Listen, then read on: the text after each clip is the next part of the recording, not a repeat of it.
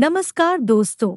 इस वीडियो में हम डिस्कस करेंगे कि एमसिटा एम टैबलेट का उपयोग किन कंडीशंस में किया जाता है। एमसिटा एम टैबलेट को कैसे लेना चाहिए और एमसिटा एम टैबलेट की वजह से क्या साइड इफेक्ट्स हो सकते हैं। और यह भी डिस्कस करेंगे कि एमसिटा एम टैबलेट को लेते समय क्या क्या सावधानियाँ रखनी चाहिए। एमसिटा एम एक ब्रांड नेम है। एमसिटा एम टैबलेट के अंदर दो दवाओं का कॉम्बिनेशन होता है। एमसिटा एम टैबलेट के अंदर सॉल्ट कंपोजिशन सीटाग्लिप्टिन और मेटफोर्मिन होता है। जब किसी व्यक्ति का ब्लड शुगर लेवल किसी एक दवा से नियंत्रण में न हो रहा हो तब डॉक्टर दो दवाओं के कॉम्बिनेशन वाली एमसिटा एम टैबलेट को लेने की सलाह दे सकता है। एमसिटा एम टैबलेट का उपयोग टाइप टू डायबिटीज़ में ब्लड शुगर के लेवल को नियंत्रण में करने के लिए किया जाता है। एमसिटा एम टैबलेट शरीर में ब्लड शुगर के लेवल को कम करती है। शरीर में शुगर के लेवल को नियंत्रण में रखना बहुत ही ज़रूरी होता है, क्योंकि लंबे समय तक शुगर लेवल ज़्यादा रहने की वजह से किडनी डैमेज हो सकती है। आँखों की देखने की दृष्टि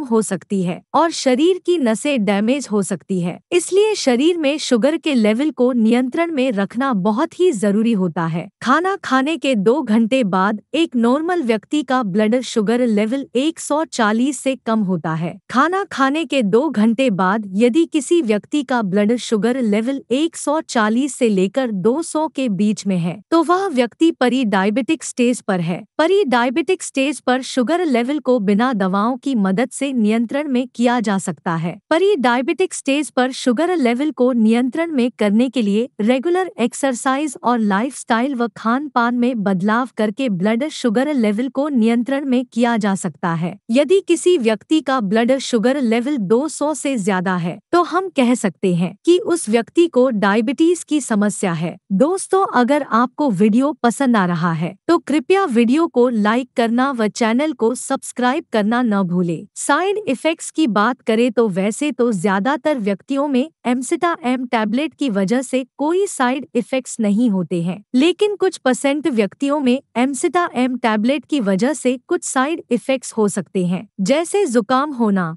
खांसी होना, गले या फेफड़ों में इन्फेक्शन होना, दस्त होना, कब्ज होना, उल्टी आना या उल्टी आने का मन होना, शरीर के जोड़ों व मांसपेशियों में दर्द होना मुँह के स्वाद में बदलाव होना, कमर में दर्द होना, पेट में दर्द होना और सिर दर्द होना आदि साइड इफेक्ट्स एमसिटा एम टैबलेट की वजह से हो सकते हैं। इसके अलावा एमसिटा एम टैबलेट को शुगर कम करने की अन्य दवाओं के साथ लेने से शरीर का ब्लड शुगर लेवल बहुत ज़्यादा कम भी हो सकता है। एमसिटा एम टैबलेट की वजह से एलर्जिक रिएक्शन भी हो सकता है। यदि आपको एमसिटा एम टैबलेट को लेने के बाद सांस लेने में दिक्कत मुँह गले होठों या त्वचा पर सूजन त्वचा पर खुजली। त्वचा पर रैशेस या एकदम से बुखार होता है तो आपको तुरंत ही डॉक्टर से परामर्श लेना चाहिए, क्योंकि ये लक्षण एलर्जिक रिएक्शन के हो सकते हैं, और एलर्जिक रिएक्शन होने पर तुरंत मेडिकल ट्रीटमेंट की आवश्यकता होती है। अब हम डिस्कस करेंगे कि एमसिटा एम टैबलेट को कैसे लेना रिकमेंडेड होता है। एमसिटा एम टैबलेट को खाना खाते समय बीच में लेना रिकमेंडेड होता है, या एमसिटा एम टैबलेट को खाना शुरू करने से तुरंत पहले लेना रिकमेंडेड होता है। एमसिटा एम टैबलेट की डोज उम्र,